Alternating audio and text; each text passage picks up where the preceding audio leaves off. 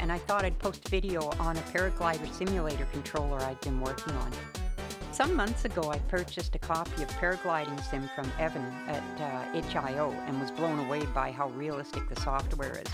It has its shortfalls, but it feels like you're actually flying around an island searching for thermals and ridge lift. There are many types of wings to choose from, and right away I tried some higher ENC rated wings for acro, safely doing wingovers and death spirals. The joystick is okay, but I pictured a more hands-on interface with the simulator with brake toggles, weight shift sensor, and a speed bar.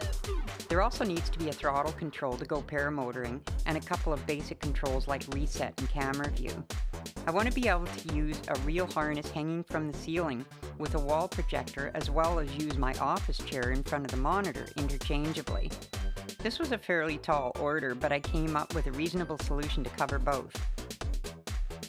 Anyway, I had been working on the project for a couple of weeks and suddenly Andre Bandara posted a live stream simulator session a few days ago announcing the new Paraglider Sim version 4.1 was out. In the chat, there were other pilots doing exactly the same thing I am, making a better controller. And interestingly, mine is very different from others I've seen thus far, so I decided to post a couple of videos on it for them. Part 1 making all the pieces. In order to make the controller work with an office chair and also be able to hang from the ceiling, there must be a strong metal frame involved.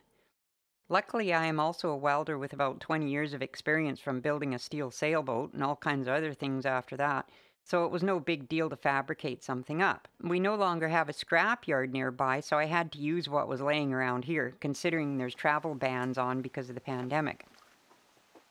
A section of 2 inch angle was really needed, but I found some angle from a bed frame which seemed strong enough for this purpose.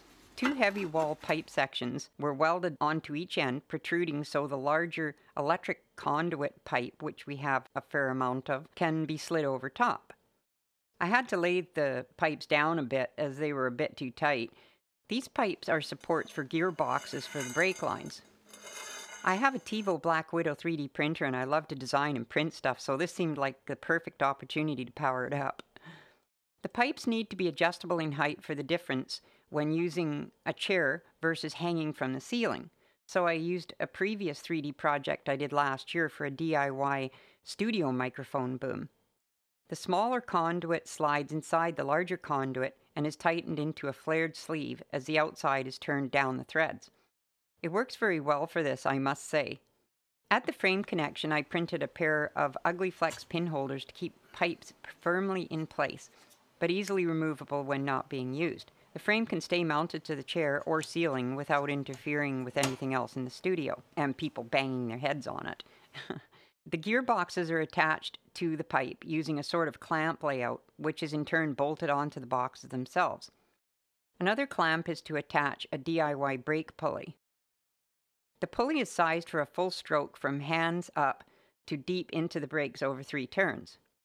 The ratio is three turns or about 1080 degrees to one potentiometer turn, which is 270 degrees.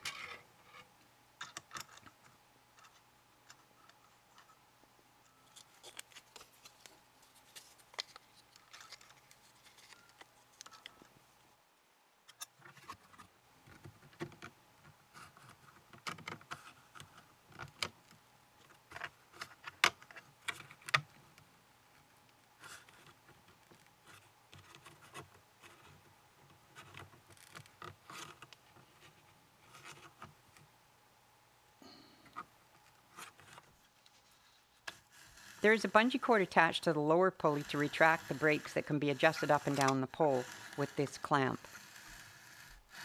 It's not exactly the same as pulling real brakes in, but serves the purpose close enough. Maybe in the future Evan will add a IP-based force feedback like most real flight simulators have, which would add to the bungee cord experience.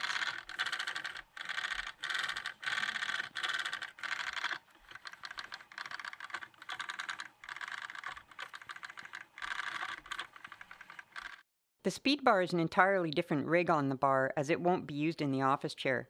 I can easily switch the paramotor throttle to be a speed bar controller when using it that way if I want, or just use the keyboard. I decided to make a carrier for a slide potentiometer to send the values. This carrier is on an adjustable rail that can be adjusted and the bungee cord feeds through a little slip coupler to move the slider. This makes it very adjustable. So there's little pulleys on each end of the bar and a limited amount of bungee to simulate pushing out a speed bar. These will be attached to cords and then brummels to hook onto my harness hooks.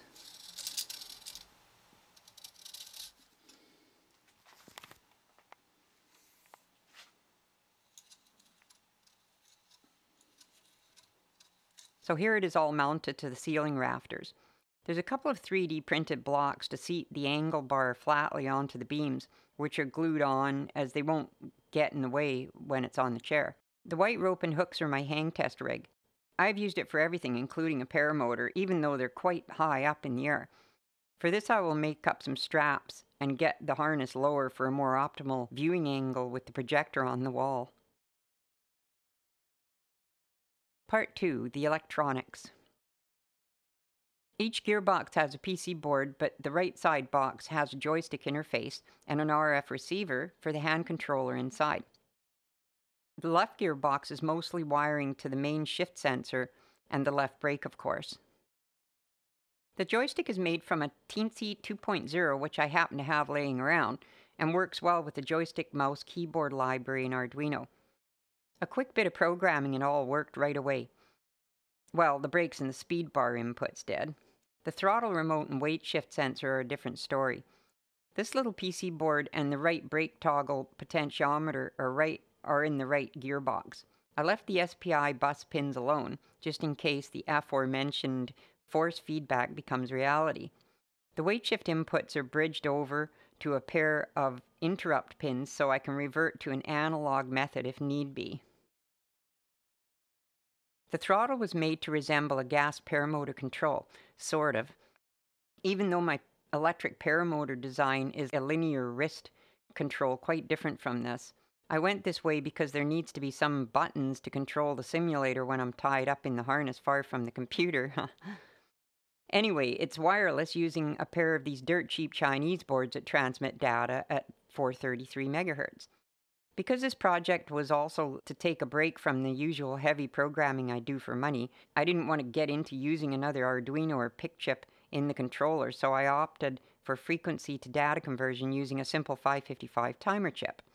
Each part uses a different frequency range, and once regulated to 5 volts is pretty stable, enough to be reliable. For example, the throttle uses 600 to 1800 Hz, while the change view button uses 300 Hz, the reset button uses 100 hertz, and the auxiliary button, which is presently uh, set to bring the mouse up briefly to look at the wing and then back down, uses 200 or 2000 hertz. This was achieved by simply switching in extra capacitors or resistors, but only works when the throttle is out fully. It's a compromise, I know, but I'm willing to live with it. There had to be some timeouts and noise catchers in the software because when there's no transmitter on, the cheap receiver sends out random data once its AGC comes up. This is really annoying, but some clever timing resolved it. So the whole thing runs on a 9 volt battery and is fairly comfortable to hold while holding the brake. Here's my fuzzy velour girly brakes. Aren't they nice? Next, and most interesting, is the weight shift sensor. I thought of many methods for this, from conductive rubber sheeting to air-filled bags with a differential barometric sensor or a miniaturized mechanical gear or pulley set. The main criteria is that it needs to work on both the office chair and in the harness, so needs to be as flat as possible. The obvious choice was to make a pair of capacitive pads. So off I went into this new experimental, well, for me, method. I printed up some paper templates to stack in layers with the cut aluminum foil in between. I went to seven layers, which, according to calculations similar to a compression type capacitor, should be more than enough to get, the, get into the two digit nanofarad range. The whole thing is mounted on a piece of aluminum plate, then spongy packing material, and a chunk of uh, camping pad for more comfort. I was going to simply use the Arduino to read the capacitance, but was concerned about long lengths of wire involved and possible resistance at the plugs, so I opted to use a pair of 555 timers to send frequencies of each pad instead. This was guaranteed to work right off and can be adjusted just as easily. Plus, I have all these 555 chips sitting around doing nothing. Here's the little boards in a 3D printed carrier which will clamp down on the layers of tinfoil tabs protruding from the outsides. The same clamp setup is on the inside, directly to the plate, which is common for both capacitors. Here's an audible test I did. Okay, a sitting test.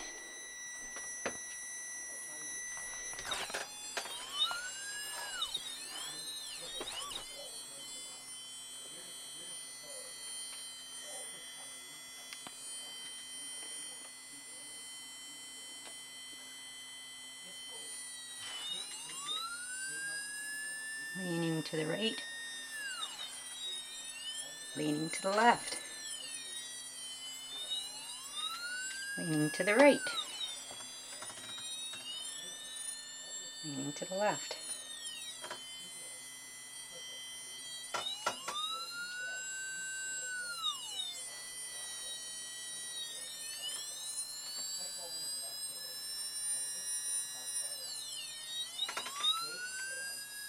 And that's how it works. Part 3 Problems. So here's problems that have popped up unexpectedly. Weight shift. The sensors are better at sensing how much of your butt is off the pad rather than on. Once you're on it, the lean angle changes it very little, but the other pad shows a lot.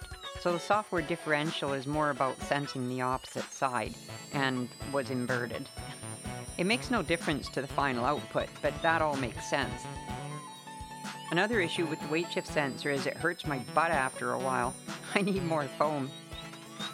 One final problem that might be solved now is the loss of contact of uh, aluminum foil. Here's a test using the controls setup page.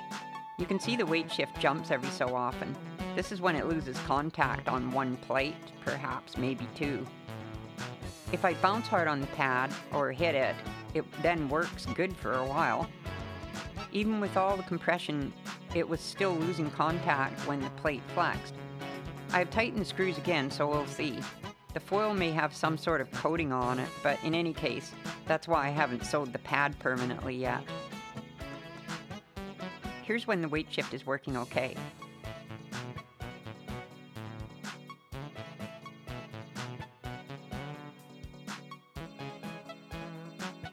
Left brake okay.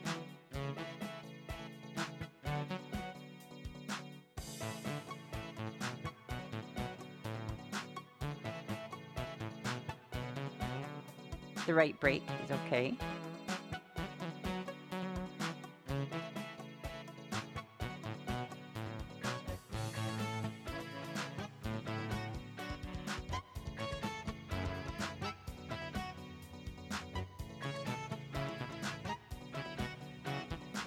Speed bar good.